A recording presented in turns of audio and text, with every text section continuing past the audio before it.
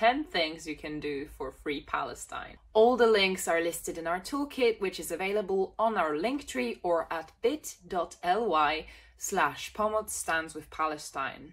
1. Show up. Follow Palestine Solidarity UK on Instagram for info on protests and actions.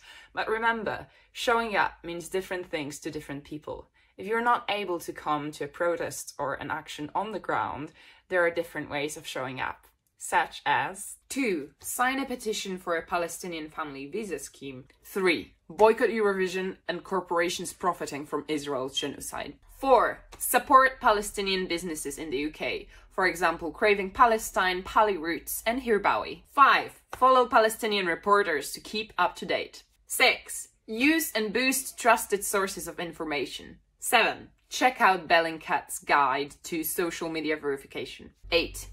Educate yourself on the history of Palestinian struggle for liberation at thepalestineacademy.com and decolonizingpalestine.com. 9.